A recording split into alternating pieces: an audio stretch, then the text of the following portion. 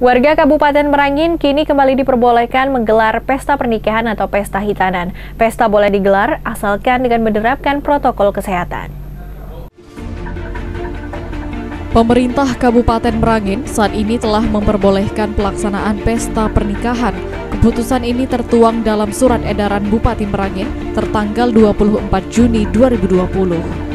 Pesta pernikahan sudah boleh dilakukan dengan syarat memenuhi beberapa ketentuan yang ditetapkan pemerintah.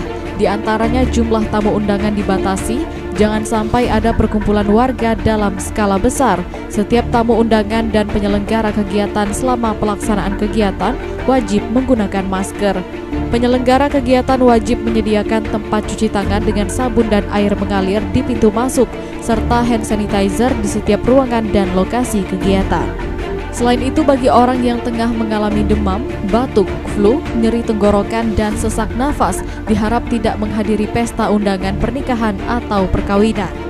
Wakil Bupati Merangin, Mas Huri membenarkan terkait keputusan tersebut, warga diperbolehkan menyelenggarakan pesta pernikahan asal sesuai ketentuan.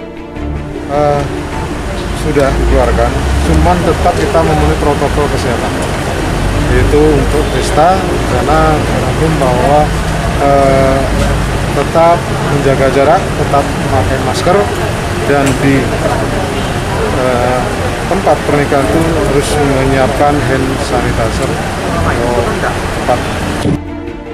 Riko Saputra, JEK TV melaporkan.